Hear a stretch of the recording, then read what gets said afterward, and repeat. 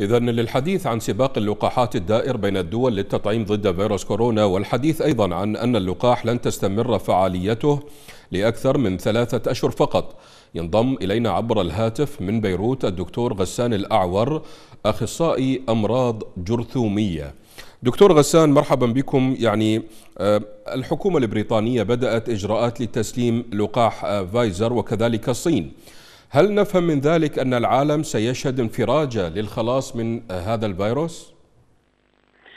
أه نعم نعم إن اللقاح يعطي الأمل بانفراج هذه الأزمة ولكن يجب أن نتذكر بأن إعطاء اللقاح سوف يأخذ وقتا ووقتا طويلا وكما نعرف أن الشركات المنتجة للقاح في مختلف أنحاء العالم سوف تنتج كميات قليلة نسبيا في الشهر الأول في هذا الشهر وثم في بداية السنة القادمة لذلك عدد الأشخاص الذين سيأخذون اللقاح سيكون محدودا جدا في كل الدول ما السبب في ذلك في كل دكتور؟ المجتمعات ما السبب في ذلك؟ لماذا آه، تنتج كميات قليلة؟ آه، لأن هذه هذه هي الكميات التي تستطيع إنتاجها في الوقت الحاضر. لأن هذه اللقاحات لقاحات جديدة آه، لا يوجد مخزون منها وقد أنتجت خلال الشهرين الماضيين فقط. لذلك الكمية محدودة جدا وسوف تزداد تباعا من شهر إلى شهر. لذلك شيء مهم جدا بأن مع بداية إعطاء اللقاحات يجب أن نؤكد على استعمال الكمامات والتباعد والتعقيم وغسل اليدين لأن هذه الإجراءات هي التي سنعتمد عليها خلال الأشهر القادمة أيضا. دكتور باعتقادكم يعني متى ستصل اللقاحات إلى منطقة الشرق الأوسط؟ نعم. آه، بالنسبة للشرق الأوسط لا أعتقد بأن اللقاحات ستصل قبل شهرين إلى ثلاثة. هذا إذا أخذنا بعين الاعتبار اللقاحات من المصادر الغربية من أمريكا أو من أوروبا ومن المصانع الأمريكية أو الأوروبية لأنه إذا طلبنا اللقاحات يجب أن تكون هناك اتفاقات تجارية للتصدير وغيرها واستعدادات لإعطاء اللقاحات. أما إذا جرى طلب اللقاح من مصادر أخرى مثلا من الصين أو من روسيا لقاح سبوتنيك في آه، يمكن أن تكون أبكر من ذلك يمكن أن تكون ولكن لا أعتقد قبل عدة أشهر.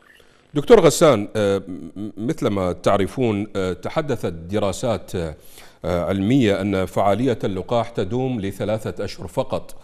آه، هل هذا صحيح؟ وأيضا إذا كانت تدوم ثلاثة أشهر فقط أيضا ما الفائدة من ذلك؟ آه، كلا. الحقيقة آه، الجواب هو أن الدراسة التي نشرت مؤخرا ونشرتها شركة موديرنا عن عدد قليل من الأشخاص الأشخاص الذين أخذوا اللقاح أول جرعة وثاني جرعة بعد أربعة أسابيع. هؤلاء الأشخاص وجدوا أن عندهم مناعة التي استمرت لفترة الدراسة وقد كانت أربعة أشهر. فلذلك الشركة تؤكد بأن المناعة تستمر بشكل جيد للثلاثة أشهر الأولى بعد أخذ جرعتين من اللقاح طيب. أما الوقت الأطول يحتاج إلى مراقبة أطول لذلك المناعة هي على الأقل ثلاثة أشهر ولكن على الأرجح هي أطول من ذلك ونأمل أن تكون أطول بكثير دكتور أيضا. وبعد الثلاثة أشهر أو أربعة أشهر آه، يعني إن صحت المعلومات بعد الثلاثة أشهر إذا ما انتهت المناعة آه، هل ربما سيكون هناك لقاح ثاني آه، للمرضى أو للناس الأصحاء؟ الحقيقة؟ نعم. نعم. الحقيقة أنه لا نستطيع توقع ماذا سيحدث بعد هذا الوقت ولكن أؤكد بأن اللقاحات تعطي مناعة والتي ستستمر بالتأكيد أكثر من ثلاثة أشهر. يمكن أن تستمر لسنة يمكن أن تستمر أكثر أو أقل. لذلك يجب أن نعطي الوقت الكافي لنرى ماذا ستظهر لنا التحليلات والدراسات في الواقع. طيب. لا نستطيع الجواب على هذا السؤال في الوقت الحاضر